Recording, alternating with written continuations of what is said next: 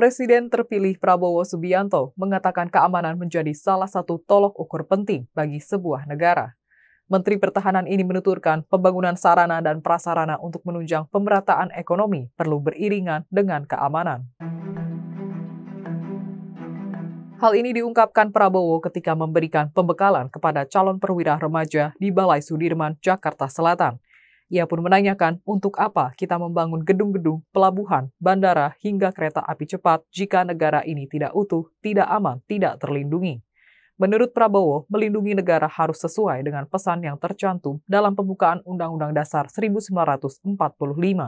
Di sana tertera tujuan nasional yang pertama adalah melindungi segenap tumpah darah Indonesia. Setelah itu barulah memajukan kesejahteraan umum, mencerdaskan kehidupan bangsa, dan ikut melaksanakan ketertiban dunia. Oleh karenanya, kata Prabowo, masuknya calon perwira remaja ke tubuh TNI Polri merupakan bagian dari tujuan nasional.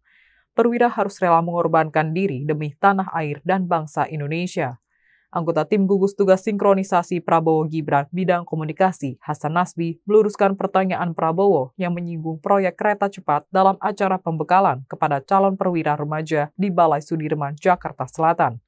Hasan menegaskan pernyataan yang dikeluarkan Prabowo itu merupakan bentuk arahan kepada para calon perwira, bukan menyesali beragam proyek pembangunan yang dikerjakan oleh pemerintah.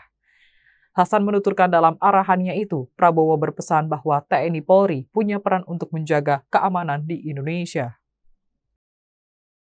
Jangan lupa follow, like, dan subscribe sosial media Tribun Jateng.